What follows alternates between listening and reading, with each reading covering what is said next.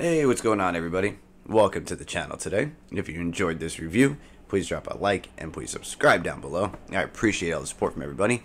And we have an interesting newer release in front of us. We've got a plain Nike box here. Kind of an interesting, interesting dunk.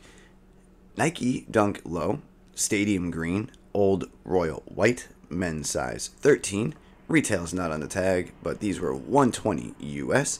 And inside, we just got some plain paper. And I believe this pair of dunks released on December 14th. I will make sure that date is correct. 2022 was the year. And USD was $120 for this pair of dunks. And this is what we are looking at today. So this may look kind of crazy, it may look kind of strange, but it may be familiar to some people what we're looking at. So these were called the foam fingers. You see that by the title, probably why you clicked the video.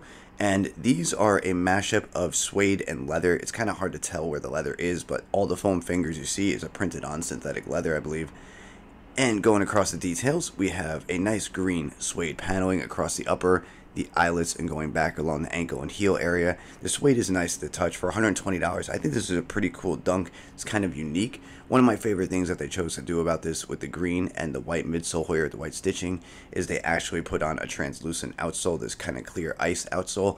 I really love the way this looks on certain colorways, and I think this just came together really nice. The only thing being wild, obviously, is the foam fingerprint. The foam fingers resemble what you would get at a stadium. Now, I'm going to grab something to show you for an example. I am not a New York Knicks fan, even though I'm from New York. I grew up being a Bulls fan. I know that's kind of crazy, but I still have this. This was from a Madison Square Garden game a few years ago when I saw Kevin Durant obliterate the Knicks when they had Carmelo Anthony. He went on fire that night, and I went to the game with my dad, and this was a cool memory. And this is the foam finger, that big ass foam finger you would get at a stadium that's sitting on your seat, and you can kind of put your hand in there, and that's what this is resembling. So we are looking at basically the foam fingers across stadiums, no designation to a team, obviously. That's why there are a bunch of colors. And I think it's a kind of cool concept on what they went through here.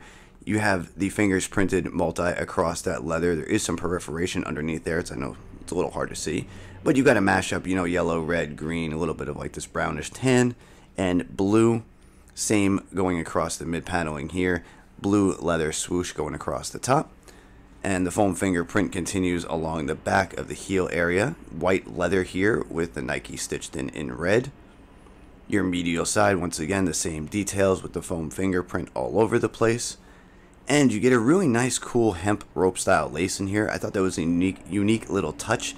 And the toe box pattern doesn't cut off below the eyelets or where the eyelet would be and the uh, dubray. It actually comes up a little bit higher and cuts off there. This is a kind of vintage looking cream tannish canvas um, backpack style tongue. You have a little bit of orangish red piping going across the top, and you have a white tag with the red Nike right there. White lining on the insole and on the lining of the shoe, and you have a blue basketball globe logo right there in the middle.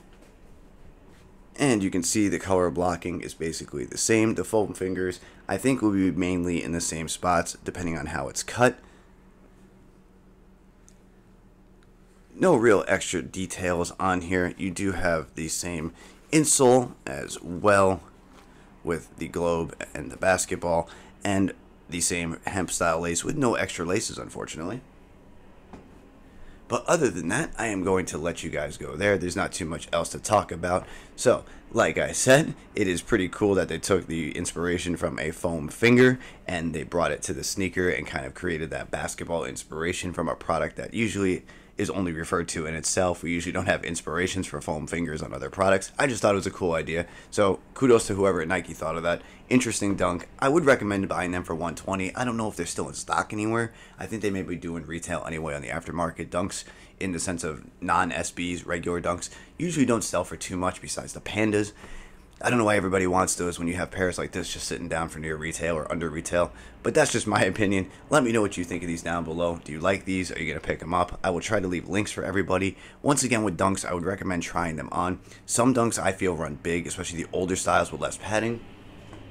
Some of the regular dunks do get more padding than some other dunks, which is really weird to me. SBs usually always have the fat tongue and more padding, which is why I always go true to size in the SB versions. But other than that, that's the best sizing advice I can do for you guys for dunks. Try them on. I would stay true to size if they feel a little big. Go down half a size if you can. Other than that, I thank you for stopping by today. I will try to answer back to everybody. Stick around. I have more good stuff coming shortly. And I hope everybody has a great day. All right?